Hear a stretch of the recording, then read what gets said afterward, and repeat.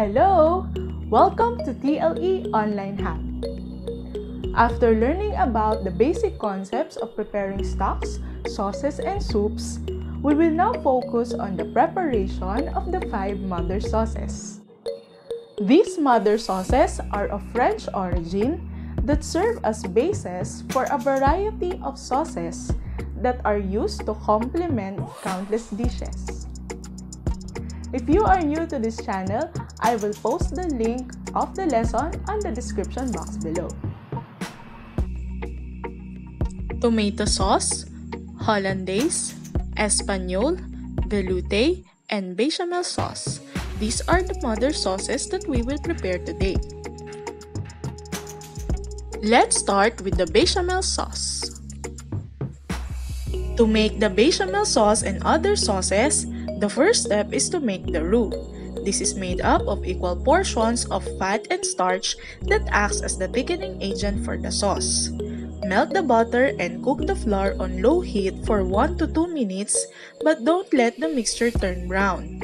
Cooking the flour removes its starchy taste. Since bechamel sauce is white in color, we need to have a white roux.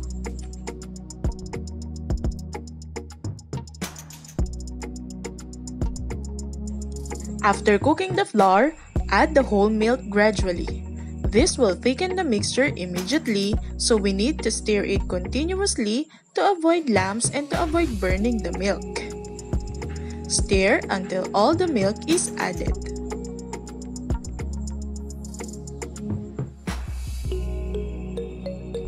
At this point, you can also add your preferred seasonings.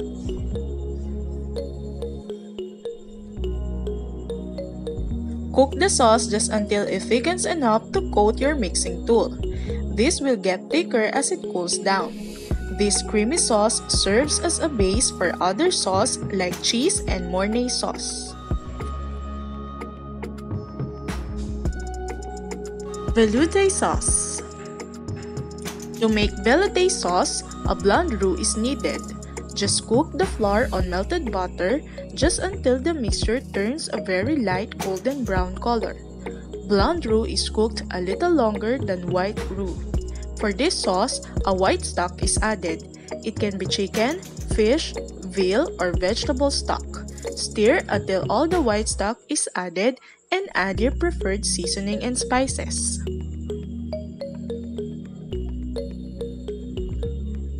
Cook until all the mixture coats the mixing tool.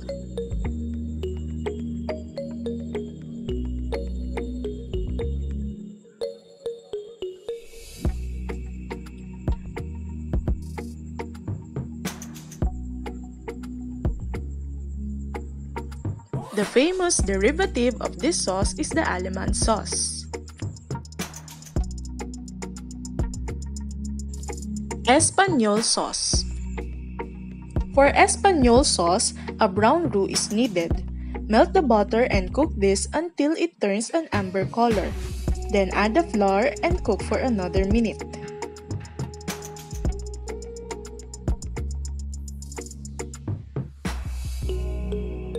Add the brown stock. This stock can be made of beef, veal, or chicken and vegetables that are roasted to brown the ingredients.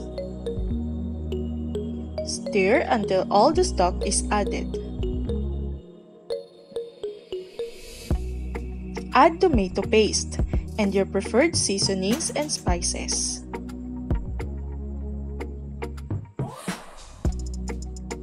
Add more stock if needed and cook until it thickens.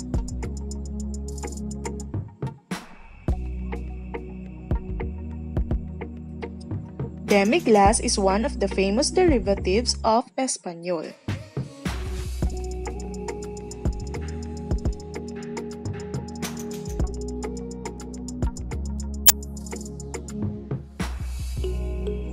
Tomato sauce To make tomato sauce, make a shallow X cut on the bottom of the tomatoes and blanch it on boiling water. This helps in peeling the tomatoes easier. Peel the tomatoes, cut and remove the seeds. Try to catch the juice while removing the seeds. Sweat the onion on low heat and add the tomatoes.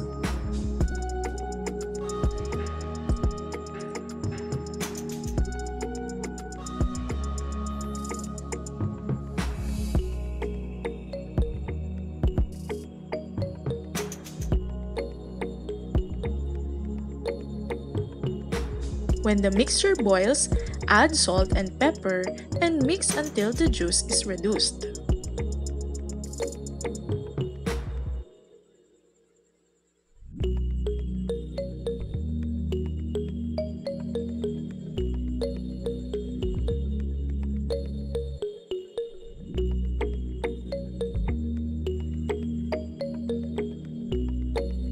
Then, cool this a bit and blend it smooth.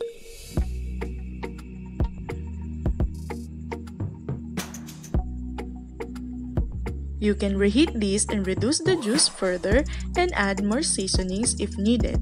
Famous derivatives of this sauce are marinara and puttanesca sauce. Hollandaise sauce. In a bowl, combine egg yolks and lemon juice. The lemon juice will help in the emulsion of the sauce. Beat this until the mixture is fluffy and the color turns pale yellow.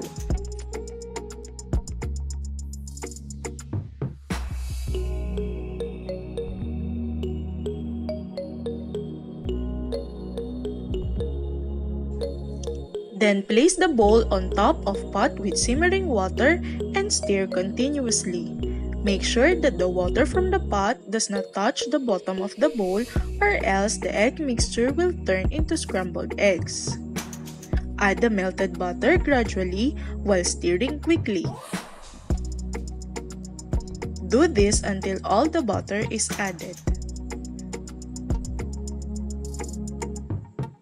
And cook this until it coats the back of the spoon.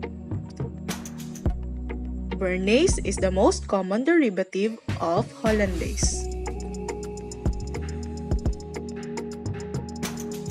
And we're done with the 5 mother sauces. Sauces will get thicker as they cool down so make sure to reheat and add the right amount of liquids before serving or serve them immediately. That's it for today. As always, thank you for watching and see you on the next video.